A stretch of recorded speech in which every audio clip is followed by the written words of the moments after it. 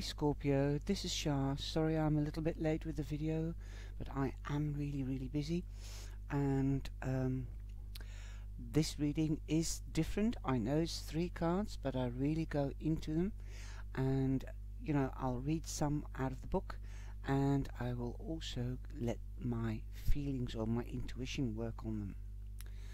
Um, I'm using the cards all by Colette uh, Baron Reid. I'm using the Spirit Animal Oracle deck and I'm using the Wisdom of the Hidden Realms and I'm using the new deck. And this is the deck that I've bought uh, from the donations of the Super Chats. And I just am so excited and happy. Thank you for everybody that gives me donations uh, in Super Chats and Super Stickers. So uh, you've not only got the picture, which says a thousand words, that's what the saying is, but it's quite true, and also you've got numerology and you've got quotes on them. So that is where I'm going to get the messages from as well. Now, if it doesn't resonate with you, then please look at your moon sign or your rising sign. And if you're new, welcome to the channel. Please subscribe and hit the bell and hit the bell on all then you'll be notified when I go live or when new videos are loaded up.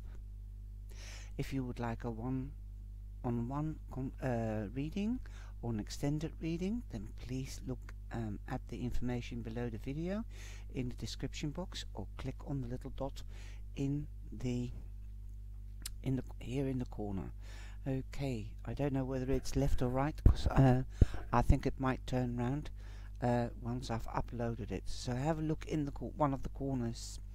I think it's top right hand corner. Okay, so let's get started. And the first card, you, um, welcome to my cyber angels, of course. I thank you very much for being so loyal and supportive. Okay, here we go. You've got the antelope. And the antelope is known as a very, very fast animal.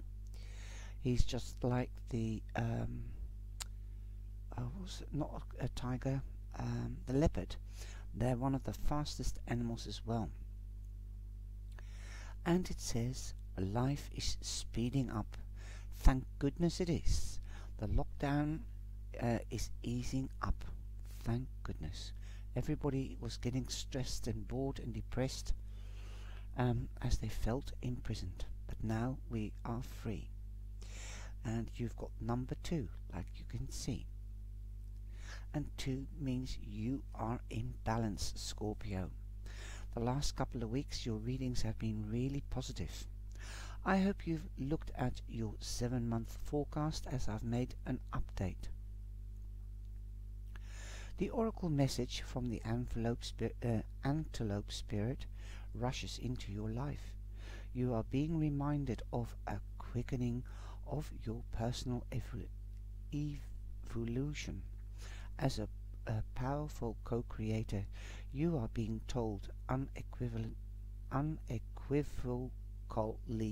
that it's time to get moving.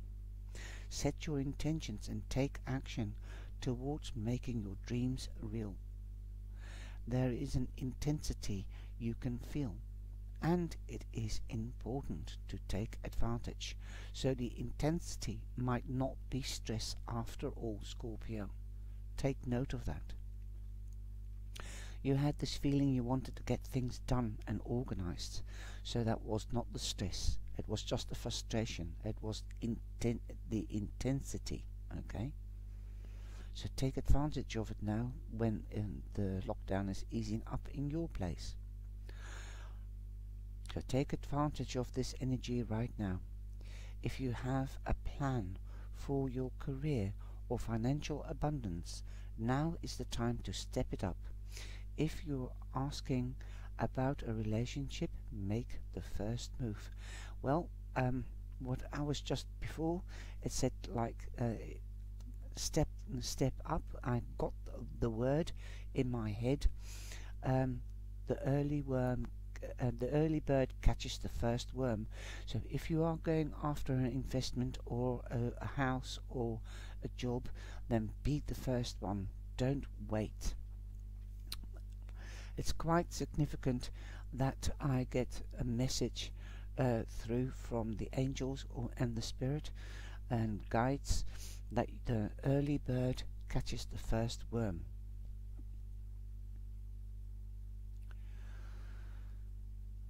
Just know that the intentions you have set in motion are coming together now at the warp speed. So it's going to come back very, very fast. It's not going to rain, it's going to pour. You're going to be really busy. So also take your rest, okay? Stay alert and keep up. Things are getting interesting when Antelope Spirits calls you to move quickly. The protecting message of the um, Antelope Spirit is do you feel how fast the world is changing? Like everything is moving at a warp speed. That's the speed of lightning. Lighting. It's hard to control desired outcomes or set fixed goals because by the time you get there, you will actually have moved beyond it. Now is the time to let go and enjoy the exhilarating ride as intentions you have set in motion is the past in the past are coming into form with lightning speed. Your job is to stay on course, even if the pace feels dizzying. You may find you will change your mind a half dozen times or more as you improve your offerings, and that is just fine. Make peace with the pace, for if you ride this quicken, quickening energy, you will solve challenges quickly and effortlessly instead of being bogged down. The best way to use this energy is to let go of worry and stay mindfully present as you continue to take action. Also, if something is not going to be in your best interest, no matter how badly you want it, Antelope will quickly remove it so you can move toward what is truly meant for you. If you if something is taken away, be grateful and keep moving. This is not the time to sit still, but to breathe deeply as you move forward with velocity. Wow. So pay attention, take time out, take breaks, otherwise you'll worn yourself out. Excuse me. Sorry, I had a sneeze, but you don't want that down your ear. Sorry. Okay. So now we're going on to the Hidden Realm card. And that is a beautiful card. It's number 14. So 1 and 4 is 5. So you might not be quite in balance. But you've got the hungry ghosts. And, you know, you are hungry to get started. I, I reckon most of you are. Okay. Obsession, scarcity, consciousness and attachment. Those are the words that are of essence in this card. I don't know whether you can see, but it is fairies sitting on pedestals and they're looking up to the light. Bit dreamy card. When uh, this card, when it is an ally, when the hungry ghosts appear on your path, they may not at first seem like allies because they represent your constant focus on the past. So it's a lot like the Six of Cups. Don't focus on the past. You can't change the past. You can only change the present and the future. And the consuming desire to know the future, which rob you or of your true present. But in fact, they are here in the service of alerting you to, obs to obsessive thinking and addictions. They are masters at magnifying repetitive behaviors. So don't be too obsessed of thinking about things. Don't be too much in your head. The message for you to examine whether you're doing the same thing over and over again while expecting a different result. This time will be different and I have I have control over this. Are false statements and signing, sighing a deep denial of the truth. Now is the time to let go of the thinking. Surrender your will, your life, your heart's desires, and all that pains you to the divine. Order will be restored in your world. The hungry ghosts are bringing understanding about the distractions of life that seduce you into forgetting what you really desire. You are asking you they are asking you to become aware that what others want and what the culture culture dictates will make you happy may not be what's best for you. So don't listen to other people's opinions and you know follow the rules but you don't have to follow uh, traditions or cultures just so you can fit in. No, just be yourself. That's the message here. But stay lawfully. Stay on the right path. Don't get caught up in outside appearances or other people's dramas. That's what I'm saying. In outside appearances, all that glitters may not be gold, at least not for you. Look beyond that veneer and you will find the true substance in your life. You deserve nothing less. So, in other words, don't believe everything other people tell you or expect you to do. Hypothetically speaking, if somebody says, well, you should do that, uh, invest in that, buy a house, perhaps it's not right for you because it's not the right moment for you to buy a house. Perhaps you have another priority or another dream, like getting married and buying that wedding dress or buying that car.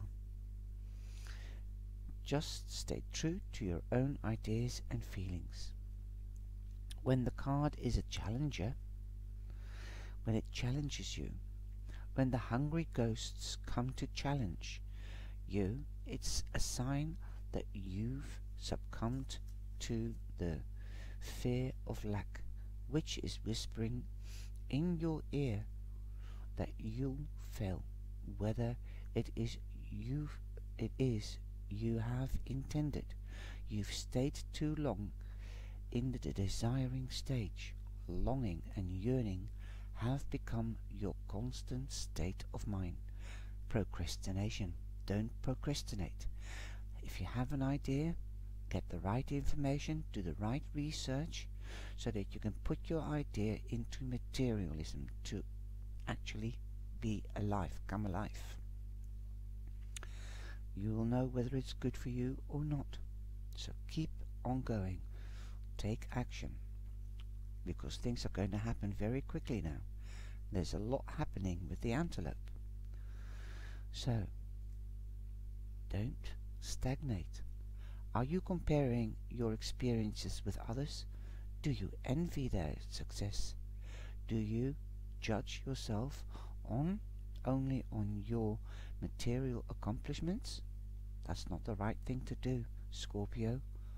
Are you afraid that there will be never be enough of anything and none of your dreams will be there upon awakening in reality?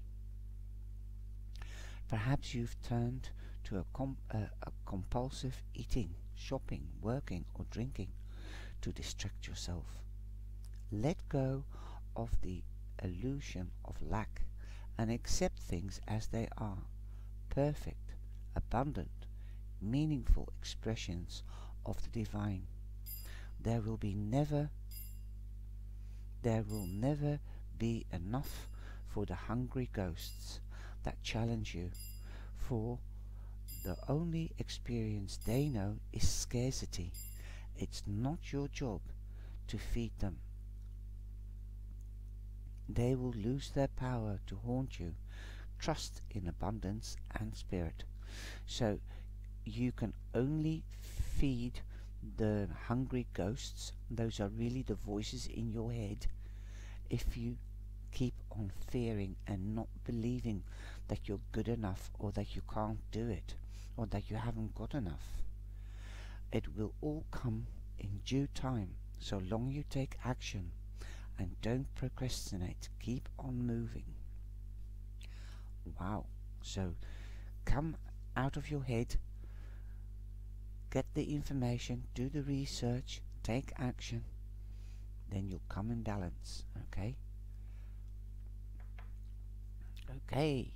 Now you have um, ecluse, eclause. I don't know how to say it. It's a sort of blue stone, and you see a spirit face here. That's the spirit stone. It's like a man with a beard. So that might resonate with you. You might know a man with a beard. Excuse me. Spoke too much yesterday. So it's a bluish stone. You can look it up in Google, Uclause, and then print it off and you can carry it with you so to get the energy of the stone the spirit stone. And it's number 23 again a 5 so you've got two fives. Okay. So the two fives will become a 10 so that is a beginning. So and you've got a 2 so you will be in balance if you um, take what you can use from this reading essential meaning of Oclase or Ucluse, wisdom from within. Inner truth aligning with the divine intelligence. trusting your own earned wisdom.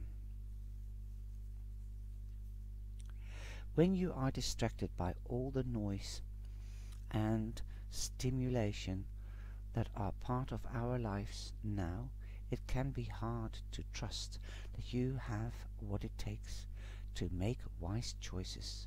The appearances of Euclase Spirit is a sign that valuable insights can be found through uh, tapping into your intuitive intelligence.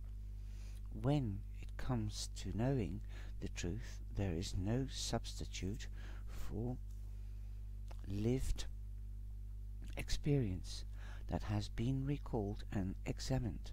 Through a process of alchemy, your experiences have generated wisdom that can guide you when you feel lost or confused.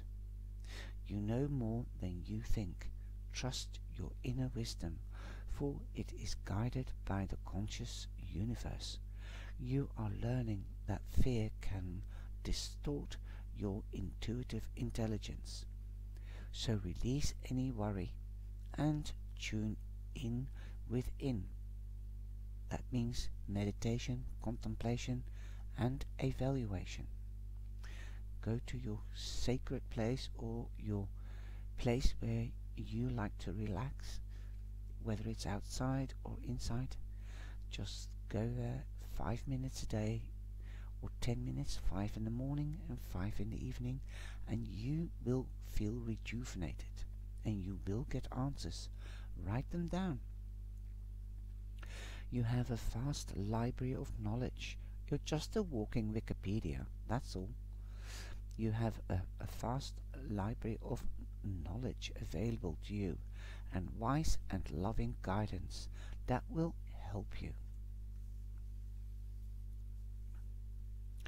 Now this is the bit for the relationships. This is advice and the meaning of the stone. Relationship message. This could be a partnership in business, a relationship in business, or a relationship in love, or just a general friendship relationship. Understanding people you love and care about isn't always easy. especially when they become aware that you still have much to learn about yourself. All of us have hidden gifts we have yet to acknowledge.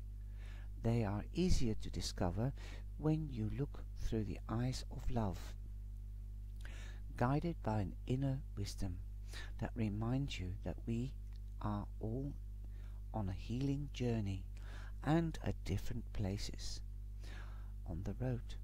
Listen to your intuitive intelligence about your relationships, for it is the conscious universe and not wishful thinking that will bring truth about other people and about yourself into awareness. Yes, yes. Mm. So listen when you sit quietly and meditate or contemplate. Sit quietly and listen to what comes up in your head as an idea. Write it down.